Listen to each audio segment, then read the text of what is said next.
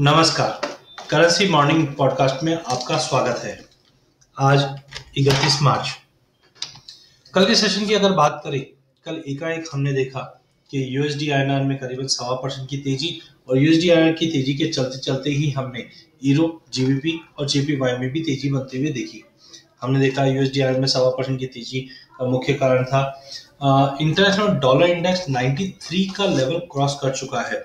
जिस ढंग से हमने स्टेटमेंट्स आते हुए देखे हैं यूएस साइड से कि जहाँ पे इकोनॉमी को रोबस्ट बताया जा रहा है पोस्ट पैंडमिक और साथ में आज का दिन काफ़ी इंपॉर्टेंट है, जहाँ करीबन तीन से चार ट्रिलियन डॉलर का इंफ्रास्ट्रक्चर स्पेंडिंग का बिल पास हो सकता है, जिसके चलते ये तेज़ी बनी हुई है। डोमेस्टिक मार्केट में हमने देखा इक्विटी मार्केट में भी रिकवरी थी बट उसके बावजूद भी रुपया संभलता हुआ नहीं दिखाई दिया और जैसे हमने पहले भी कहा था कि 73 का अगर लेवल ब्रीच हो जाता है तो कहीं ना कहीं प्राइजेस सीधा 74 20 तक जा सकता है। बट इंपॉर्टेंट है अगला दो दिन। कल एनुअल uh, क्लोजिंग के चलते करेंसी मार्केट बंद रहेगा। सेकेंड अप्रैल को गुड फ्राइडे के चलते पूरा मार्केट बंद रहेगा देन सैटरडे एंड संडे तो करीबन चार दिन की कंटिन्यू छुट्टी होने की वजह से आज एक लॉन्ग अनवाइंडिंग हो सकती है।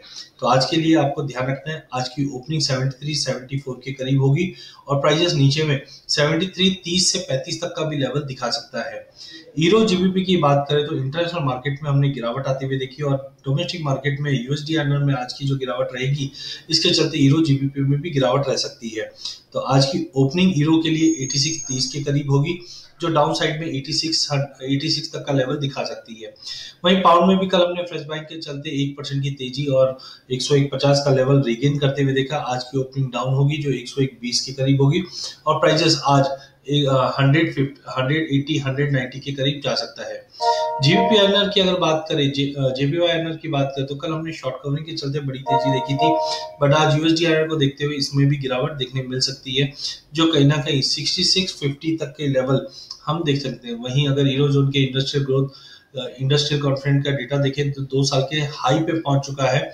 और यूके से भी अगर हम देखें तो प्राइजेस में एक सपोर्ट ब्रिटेन में जो वैक्सीन रोल आउट फिर से हुई है, इसके देखते हुए मिला है। तो इन ऑल हम जान सकते हैं कि आज का सेशन यूएसडी पे टिका हुआ है और यूएसडी में आज थोड़ा भी पुल बैक मिलता है तो इसका एक नेगेटिव इम्पैक्ट हम सभी करेंसीज में आते हुए देख पाएँगे। डेटा पॉइंट भी काफ़ी ज़्यादा है आज थर्टी फ़र्स्ट होने के चलते भी।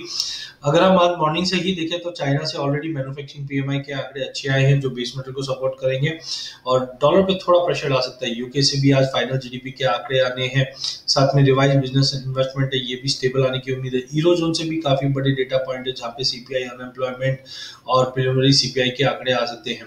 यूएस से सबसे इंपॉर्टेंट डेटा जो रहेगा वो ADP non farm employment change का डेटा रहेगा, जो काफ़ी बढ़त दिखा रहा है, जिसके चलते डॉलर में कंटिन्यू हमने ऑलरेडी तेज़ी आते हुए देख पा रहे हैं। साथ में चिकागो पीएमआई का आंकड़ा और पेंडिंग होम सेल्स का भी आंकड़ा रहेगा, जहाँ पे थोड़ा सा नेगेटिविटी दिखा रहा है। चार्टिकली काफ़ी बड़ी रैली के बाद ऑलमोस्ट 74 का लेवल हम छू चुके थे। एक पुल बैक दिखा सकता है जो 73 50 तक का लेवल हम यूएसडी में आज के सेशन में देख पाएँगे, क्योंकि चार्ट ओवरबॉट दिखा रहा है। वहीं हीरो की बात करें तो प्राइजेस 200 डे मूविंग एवरेज का लेवल छू चुका है।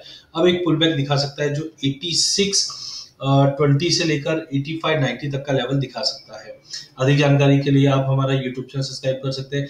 इस चैनल में हम आप तक इक्विटी कमोडिटी करेंसी के अपडेट लाते रहेंगे। वीडियो पसंद आने पर इसे लाइक और शेयर ज़रूर कीजिए।